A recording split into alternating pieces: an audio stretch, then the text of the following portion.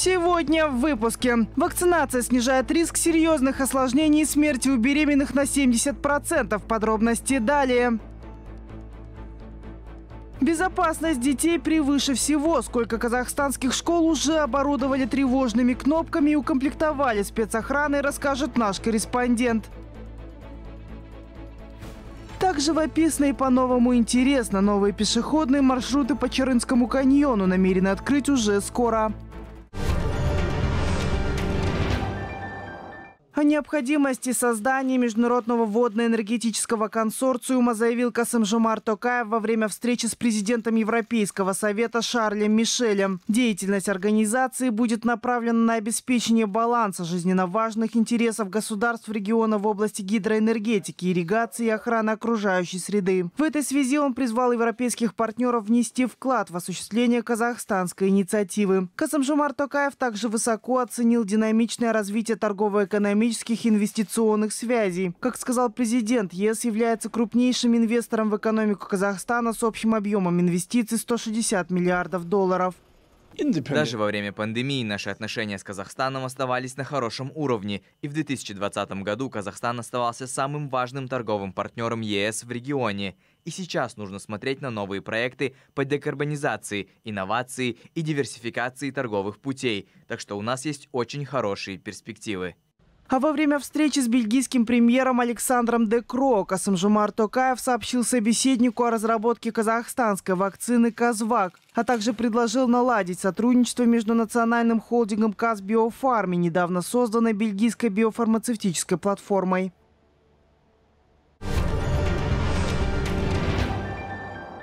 54 инвестиционных и коммерческих контракта подписали Казахстан и Узбекистан на третьем форуме межрегионального сотрудничества на реализацию проектов в сферах машиностроения, сельского хозяйства, производства строительных материалов, электротехнической продукции направят свыше 611 миллионов долларов. Страны в ходе мероприятия договорились расширить двустороннее сотрудничество в торгово-экономической, инвестиционной, транзитно-транспортной, водно-энергетической сферах, промышленной кооперации и туризме. К слову, с начала года товарооборот центральноазиатских республик достиг почти 3 миллиарда долларов. В планах довести его до 5 миллиардов уже уже в 2022 и до 10 миллиардов в американской валюте в течение ближайших пяти лет.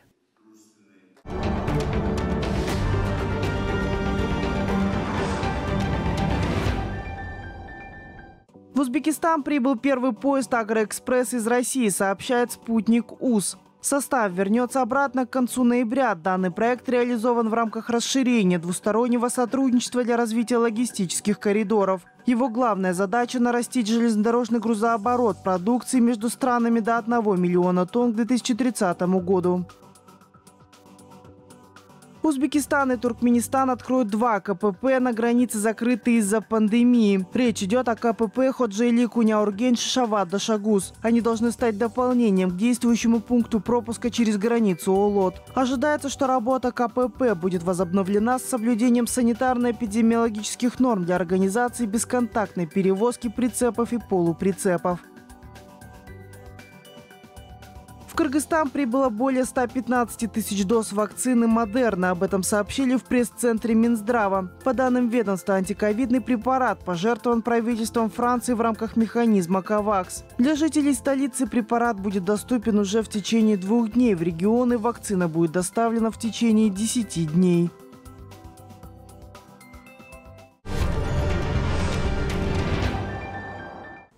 Снова рост в Казахстане. За минувшие сутки у 971 человека выявлена коронавирусная инфекция. Антирейтинг по приросту ведет Северо-Казахстанская область. Здесь опасным вирусом заболели 138 человек. Плюс 128 в Карагандинской области. Замыкает тройку столица Казахстана, где положительный ПЦР зафиксирован у 122 человек. Между тем, лечение от COVID-19 к данному часу получает 27 тысяч казахстанцев. 422 пациента сейчас находятся в тяжелом состоянии 81 человек подключен к аппаратам искусственной вентиляции легких. Отметим, в стране продолжается кампания по вакцинации населения двумя компонентами антиковидного препарата. Иммунизировано уже 8 миллионов 24 тысячи 665 человек.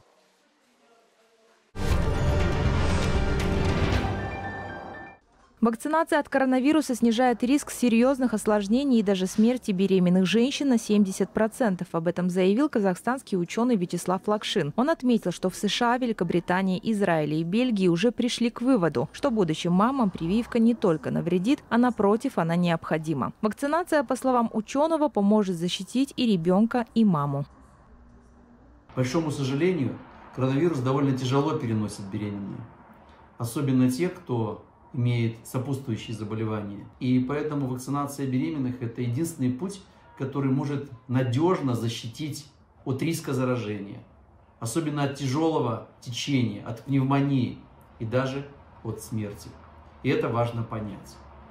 Вакцины, которые применяются для этого, МРНК-вакцины, они прошли апробацию и до клинических исследований, и в клинических Сегодня их получили многие сотни тысяч беременных в разных странах мира. Нет негативного влияния ни на плод, ни на здоровье беременных. Зато исследования показали, что у внутриутробного плода обнаруживаются антитела.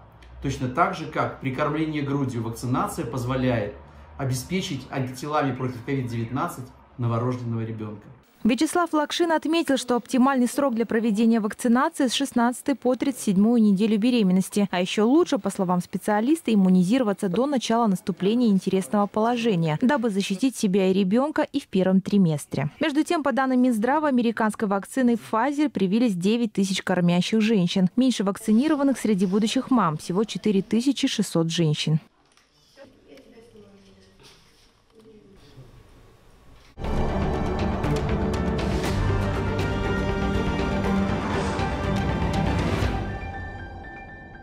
Во Франции ожидают пик пятой волны уже в начале декабря. В правительстве страны озвучили новые ограничения. Обязательная бустерная доза и более строгие условия для получения санитарного паспорта.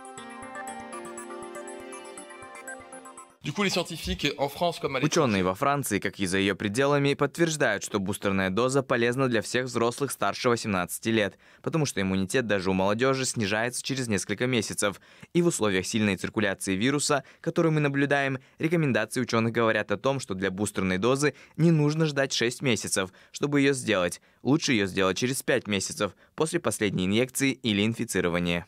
Кроме того, сокращается действие теста на коронавирус вместо 72 часов 24. К слову, в Пятой Республике не планируют вводить вакцинацию детей от 5 до 11 лет. И это несмотря на то, что европейский орган одобрил применение препарата Pfizer. К этому вопросу намерены вернуться только в начале следующего года. Получить дополнительную дозу препарата от коронавируса призывают жители Великобритании. Ревакцинироваться рекомендуют до 11 декабря. Власти мотивируют население тем, что таким образом они будут лучше защищены от инфекции в преддверии рождественских праздников. Отметив в стране бустерную дозу вакцины уже получили 16 миллионов человек. Привиться могут граждане старше 40 лет. При этом между второй и третьей дозой должно пройти не меньше полугода. Португалии вновь ведут ограничения против коронавируса спустя два месяца после их отмены, несмотря на высокий уровень вакцинации. Так, с 1 декабря станет обязательным ношение масок в закрытых помещениях. Для посещения ресторанов, кинотеатров и отелей необходимо будет предоставить электронный сертификат, подтверждающий вакцинацию или выздоровление от COVID-19. Более того, вакцинированные граждане должны будут предоставить отрицательный тест, если захотят посетить больницы, дома престарелых, спортивные мероприятия. Отметив Португалию, Португалии обе дозы вакцины получили уже около 87% населения. Носить маску обязательно, даже находясь на улице. Кроме того, люди, прибывающие в страну, должны будут предоставить отрицательный тест на коронавирус. Принимаемые меры необходимы для того, чтобы предотвратить рост заболеваемости. В более чем тысячах объектах образования страны установлены тревожные кнопки и свыше 700 образовательных учреждений переведены на круглосуточную лицензированную службу охраны. Кроме того, к Центру оперативного управления органов внутренних дел подключены свыше полутора тысяч городских и районных школ республики. Об этом сообщил главный эксперт Комитета по охране прав детей Минобразования и науки Тимур Кастуганов. По его словам, благополучие и безопасность детей являются основополагающими вопросами государства и ответственных за это ведомств. И для того, чтобы учителя и дети знали, как реагировать в случае чрезвычайных ситуаций или иных угроз, в разработке находится специальный алгоритм действий. Ему должны будут следовать все объекты образования республики. Ожидается, что он будет представлен уже в следующем году. На данный момент в рамках законотворческой деятельности он прорабатывается совместно с заинтересованными органами. Это, конечно же, Министерство чрезвычайных ситуаций, Министерство внутренних дел, Комитет национальной безопасности. И, конечно же, привлекаются педагоги, эксперты, которые как раз-таки с позиции практиков ну, дают э, свои рекомендации, предложения к этому алгоритму. 350 тысяч казахстанцев посетили зарубежные страны с начала нынешнего года. К слову, это в четыре раза больше, чем в 2020 -м. Специалисты уверены, что цифра вырастет в разы в канун Нового года, потому как много желающих выехать именно на праздники. По словам президента Ассоциации туроператоров Республики Инны Рей, наиболее популярные среди казахстанцев направления – Объединенные Арабские Эмираты, Египет, Мальдивы и Таиланд. Также возобновлены регулярные рейсы в Индию и Шри-Ланку. Во время пандемии туроператоры не прекращали работу. Благодаря фонду туристок Комкор мы смогли доставить наших путешественников к месту назначения и вернуть их обратно на родину. Конечно, было и немало трудностей. Особенно этим летом было много работы. Наши туристы остались довольны. Это и самое главное. Желающих приехать в нашу страну очень много. Мы держим связь с представителями туристического сообщества, пока не получили разрешение межведомственной комиссии. Надеемся, что ситуация разрешится.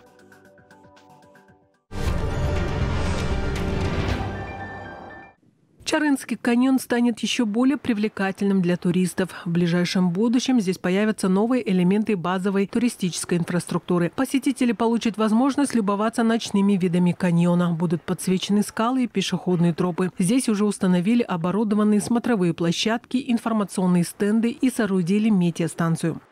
Наша основная идея развивая туризм, мы не должны нанести ущерб по природе. Поэтому наши партнеры Казак Geography – это объединение, которое, в котором есть много членов, и там специалисты из разных сфер, как из географии, а, также из культуры, историки, а, разные научные сообщества.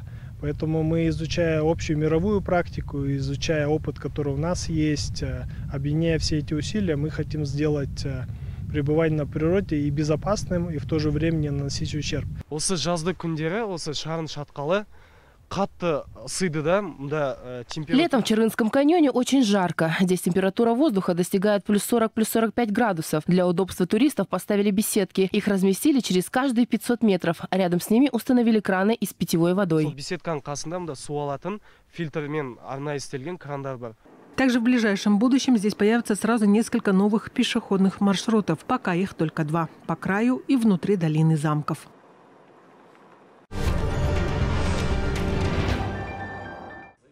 Закрытая премьера фильма о первом президенте Казахстана «Казах. История золотого человека» состоялась в Минске в рамках кинофестиваля «Листопад». В фильме Нурсултан Назарбаев делится воспоминаниями о своей жизни важных событиях новейшей истории распаде Советского Союза, закрытии Семипалатинского полигона, а также нынешней роли Казахстана на международной арене. Над созданием ленты трудилась интернациональная киногруппа во главе со скороносным режиссером и звездой Голливуда Оливером Стоуном. Музыку к фильму написал известный итальянский итальянский композитор и дирижер Карло Силиотто. Создатели картины уверены, она откроет для зрителей новый Казахстан. До нас не знал никто, почему не приехал Нурсултан Абишевич в Беловежскую пущу, где был Шушкевич, Кравчук и Ельцин. Он в нашем фильме говорит об этом впервые. Э, и есть ряд других моментов, которые не хотелось бы раскрывать до телепремьеры. Я э, хотел бы сказать, что вскоре первыми телевизионную версию нашего фильма посмотрят в Казахстане. Мы очень горды этим. Но одно говорит о нашем фильме, что э, он интересен мировому зрителю. Почему она интересна должна быть для Минска? Ну, потому что это братская страна. Это братский народ казахскому народу, и я думаю, что это народы, у которых есть общий интерес. И я думаю, что тем же авторитетом, который э, Нурсултан Абишевич пользуется у Александра Григорьевича Лукашенко, я думаю, также он пользуется и у э, простых белорусских граждан. Уже в ближайшее время казахстанцы смогут увидеть восьмисерийную телеверсию фильма. Отметим, «Золотой человек» уже включился в гонку за премию «Оскар» и даже получил первую музыкальную номинацию. После Беларуси лента продолжит свое кинематографическое шествие. Впереди Арабские Эмираты, Франция, Германия, Япония и Китай.